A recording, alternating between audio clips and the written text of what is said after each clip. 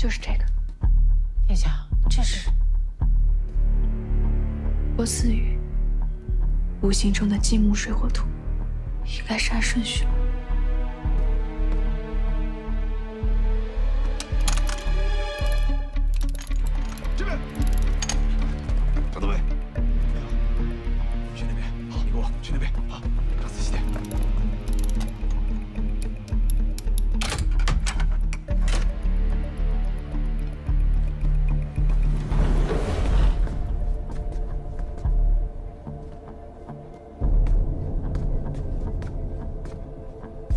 该不是这些。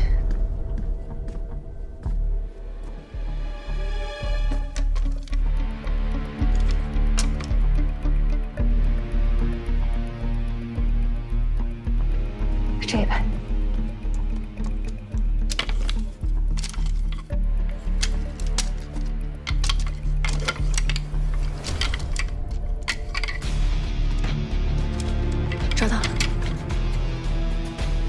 王大人身居庙堂，自然不知这边关的实情。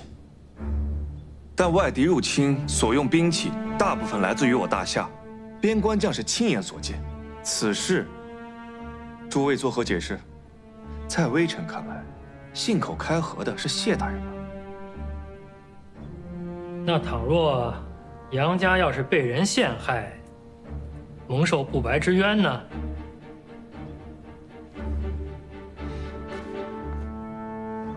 陛下，若这杨氏一族真的被诬陷，那便更要查，否则杨氏一族满门忠烈，会永生永世受到流言侵扰，含冤千古，难以昭雪啊！陛下，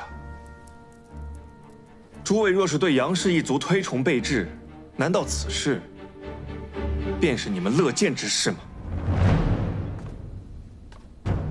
诸位爱卿，可还有何异议？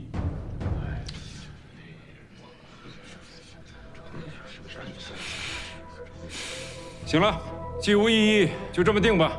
事关杨氏高门，此案就由平越主审，提裴文轩为监察御史，协助平越审案。因你二人都与此事有所牵连，另命刑部侍郎苏荣钦监察。诸爱卿以为如何？陛下英明。你指吧。娘娘，下去吧。拓跋燕那出了什么事儿？底下人来报说有人闯入密室，偷走了账本。他竟然留了账本。他们这种人为了不被灭口，一般都会留一手保命的。可知那账本是被谁偷走的？这是拓跋燕留下的画像，说可能是这两个人。奴婢看过了，是平越殿下，还有裴文轩。杀了我全弟的裴文轩，欺人太甚！这小人欺人太甚！是杀是留，还请娘娘明示。现在还不能杀他，账本是他和平月一起拿的，杀了他只会留下更多把柄。那娘娘的意思是，联系拓跋燕的管家王顺，养了他那么久了，也该有点用处了。待拓跋燕一死，那账本就是死物。